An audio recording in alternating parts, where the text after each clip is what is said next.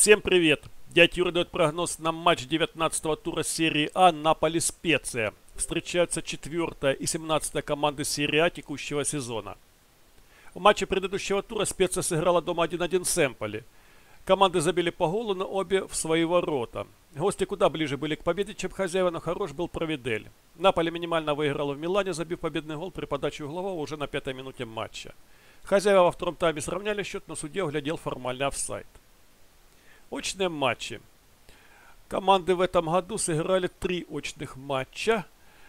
Все они были результативными. Дважды выиграл Наполе 4-1 на выезде, 4-2 дома. И один раз выиграла Специя 1-2 на выезде в Неаполе. Причем она это сделала, кажется, в десятером.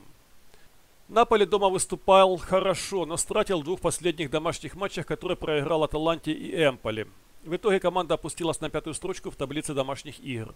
Большинство матчей в Неаполе в этом сезоне хозяева играют в ноль.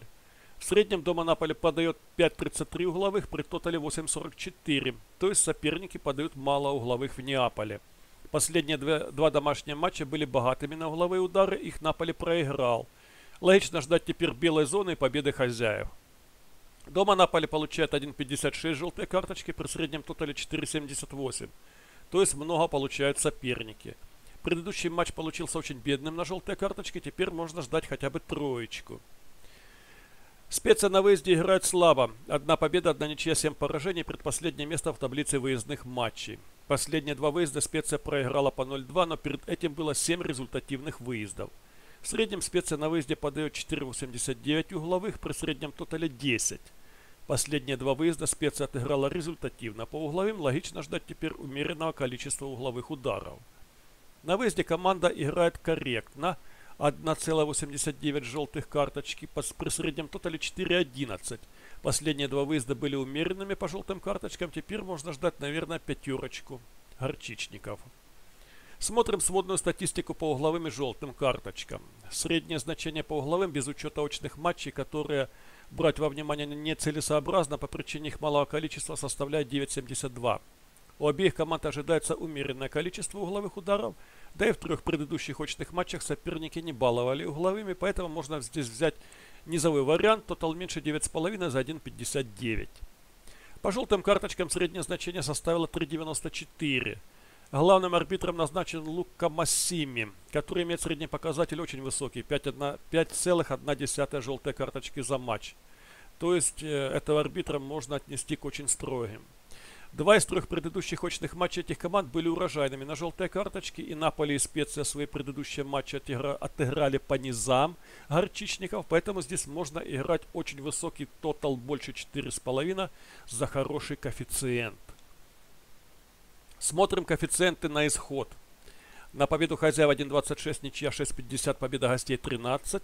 После двух домашних поражений у Наполи ничего иного на этот матч, кроме уверенной победы хозяев, придумать сложно. Чему способствует еще и плохая игра специй на выезде. Тут можно играть победу хозяев с фора минус полтора за 1.74. Если Наполи здесь и выиграет, то скорее всего уверенно. Смелые могут играть даже фору минус 2,5. Тотал меньше больше. На тотал меньше 3,5 дают 1,73. Тотал больше 3,5 2,23. Предыдущие три очные матчи этих команд прошли на 3 и более голов. Последние два выезда специя проиграла по 0,2. Наполе дома проиграл Эмполи 0,1. На тотал больше 2,5 должны бы здесь команды наиграть аж бегом. Даже если гости и не забьют. На тотал больше 2,5 дают невысокий 1,45. Сам вариант выглядит вполне ожидаемо, коэффициент слабоват. Поэтому в качестве компромисса можно играть тотал больше 3 гола за 1,71. Скорее всего здесь будет забито больше 3 голов. На обе забьют да нет дают по 1.90. Предыдущие тречные матчи этих команд прошли на обе забьют да. Специя последние два выезда проиграла в сухую. Никогда в этом сезоне такая серия у специи не шла на третий матч. Наполе в этом сезоне дома чаще играет в ноль. И тут действительно получается 50 на 50. И выбирать можно чисто даже подбрасыванием монетки. Что из предложенного выбрать и выбрать ли вообще, решайте сами. На этом все. Дядя Юра верит, что у вас все получится. Всем оптимизма и удачи. Будьте здоровы.